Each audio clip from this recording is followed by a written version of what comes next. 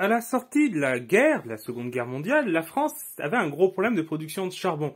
Son industrie avait beaucoup souffert, à la fois au niveau de son personnel, il y avait eu des morts, des personnes qui avaient souffert des pénuries, et les équipements avaient subi des dégâts, des sabotages irrésistants, mais également des destructions de l'occupant lorsqu'il quittait les territoires.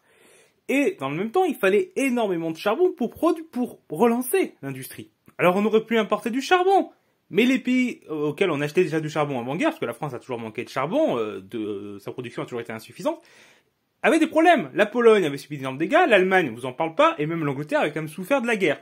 Donc importer, c'était plus possible. Donc il fallait à tout prix relancer la production en urgence. Et c'est dans ce contexte-là que la bataille du charbon a été lancée, une bataille de la production, mais si vous voulez en savoir plus sur le sujet, on a fait une vidéo sur la chaîne YouTube Histoire d'apprendre, lien dans la description, et je vous invite à vous abonner à cette chaîne YouTube.